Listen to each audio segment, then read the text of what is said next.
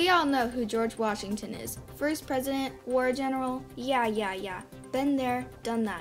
But do you really know who Thomas Jefferson is? Third president, really important? Hi, I'm Maddie Halleck, and I'm here to talk to you about Thomas Jefferson. Thomas Jefferson was born on April 13, 1743, in Shadwell, Virginia, on a large plantation. Peter Jefferson, his father, was a successful planter, while Jane Jefferson, his mother, came from a prom- prominent Virginia family. Jefferson had seven other siblings and was the eldest son. He later married Martha Wayles Skelton on January 1, 1772, and settled down in Monticello.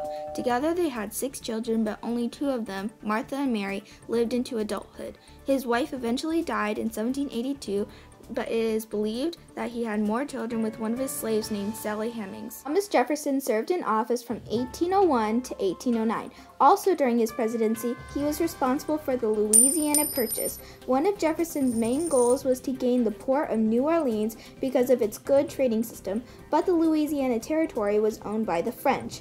Jefferson made out a deal of $10 million to gain New Orleans, but walked out with the rest of the territory for only 5 million more. That's a pretty good deal, don't you think? That was just one thing that went on during his presidency. Another thing that happened within the states during his presidency was the Lewis and Clark expedition. The expedition took place shortly after the Louisiana Purchase. Jefferson commanded for an expedition to be held to search the new territory. The expedition went from St. Louis to the Pacific coast, or near present-day Washington. The journey lasted from May of 1804 to September of 1806. While on their journey, they ran into a tribe of Native Americans and met Sacagawea. They later took her with them to help navigate where they needed to go. Also, during his presidency, there was something big going on in France. Napoleon crowned himself emperor. Napoleon started as a war general with many ups and downs. Later in 1802, he was proclaimed consul for life. Two years later, in 1804, he was claimed emperor of France. Okay, now that we've gone through that, let's see some interesting things Thomas Jefferson did.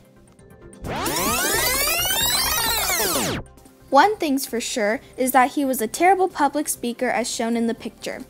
Another thing is that he was a very casual person. He was a talented musician, especially at the violin. And lastly, nowhere on his tombstone does it indicate that he was president at all. Sadly, Jefferson died on July 4th, 1826. 50th anniversary of the Declaration of Independence at Monticello. Actually, he strangely died a few hours before John Adams died in Massachusetts.